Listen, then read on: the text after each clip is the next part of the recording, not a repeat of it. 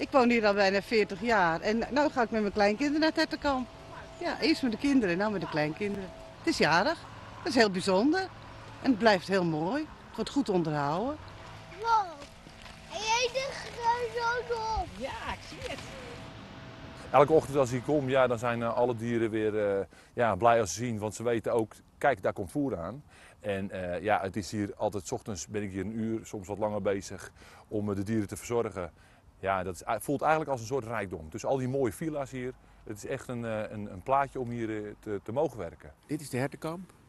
Er staat dus een kaart uit ongeveer 1916. Dit is het dierenverblijf, dat stond er al. Ehm, en dit is uh, de toegangsweg, de Stationsstraat. 100 jaar geleden was dit een grote open vlakte. Er had hier een renbaan gelegen waar wedrennen werden gehouden. Dat werd verboden, althans aan banden gelegd. En de eigenaar Jacob van Renen, die, die tegelijkertijd ook burgemeester van uh, Bergen was, uh, heeft dus het plan opgevat om hier een mooie villa-wijk van te maken.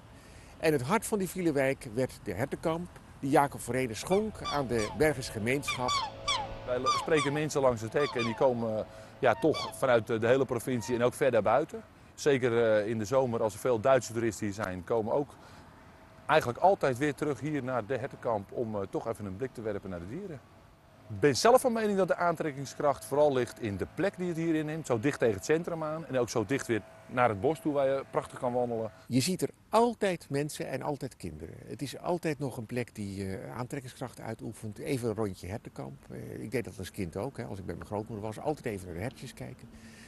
En uh, ja, het, er ligt een beding op. Het mag voor niets anders worden gebruikt. Dat heeft Van Reen ook geregeld.